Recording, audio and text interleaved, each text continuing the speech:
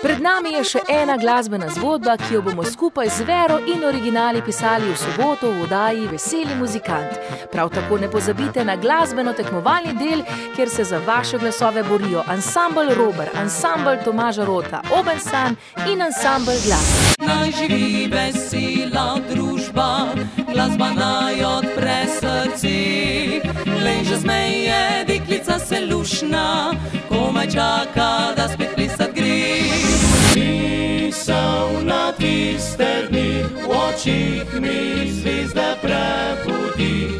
Moja domača vas, ob njej pa polje, ki zori.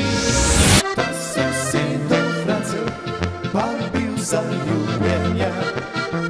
Brhka mlada puška, unila je srdi. Najlepša si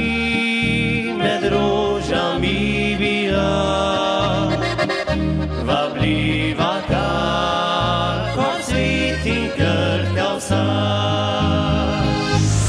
Izmed vseh, ki boste oddali svoj glas, bomo izžrebali nekoga, ki bo prejel digitalni fotoaparat.